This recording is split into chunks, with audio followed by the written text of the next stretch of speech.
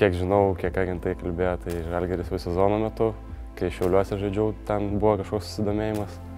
A, tiesiog po sezono išvykau Ameriką, sportavau ir gavau, gavau pasiūlymą, kad prisijungti prie Žalgerio ir per, per daug kažkaip, e, gal buvo minčių pasilikti, bet vis tiek manau, Žalgeris geriausia organizacija Lietuvoje, tai tikrai būtų tikrai geras šansas ir reikėjo jo pasinaudoti. Birželio, birželio pradžioj po sezono praktiškai, nes su šiauliais dar sportavom po sezono.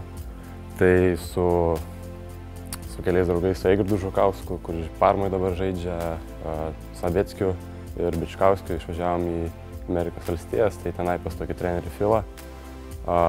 Pagrindė buvo tikslas prieaukti raumenų masės, e, e, fizinės treniruotės, tai nežinau, pusantrą mėnesio paspartavom, buvo tikrai sunku, kažkiek patenkintas, gal truputį nukentėjo ta uh, ištvermė, bet, bet manau sezono metu viskas įsivažiuos ir bus gerai.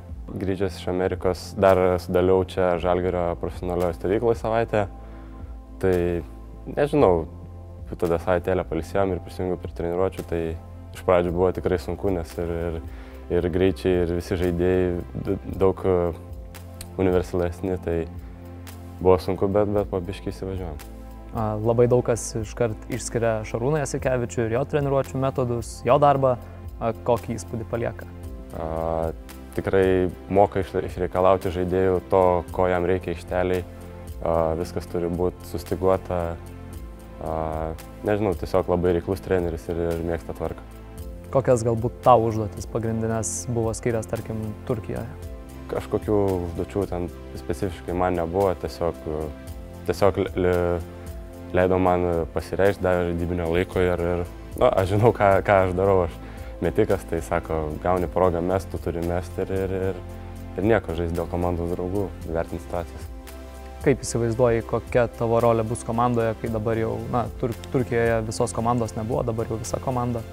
Mm, nežinau, gal, gal iš pradžių daugiau treniruočio procese padėsiu, ar priklausys nuo varžovo, ar LKL e daugiau žaisiu, ar, ar kur, tai kol kas trenerių nekalbėjom, bet, bet manau, gausiu žaidybinio laiko, kiek, kiek galėsiu, tik išnaudosiu, ko, ko geriau. Nežinau, jeigu pavyks e, išeiti į Eurolygą, ar tiesiog stengsiuosi, ką darau, ką darau paprastos varžybos LKL, e, tą ir tenai darysiu, trenerių nurodymus vykdysiu ir kaip seksis pamatys. Pats minėjai ir visi aišku žino, kad esi metikas, Komandoje yra kitas puikus metikas Artūras Milaknis. Kaip atrodo darbas su juo? Įsivaizduoju, kad tų patarimų ir darbo kartu su juo tikrai yra. Jo, būna pa, patarimų, žiūriu, kaip jisai, kaip jisai išbėga iš užtvarų, kokius metimus jis meta. Tai panašiai vis tiek daug, daug maž deriniai ant, ant mūsų ant metikų yra tokie patys vienodi. Tai ir žiūriu, kaip, kaip išeiti iš užtvarų mokinos tiesiog iš jo.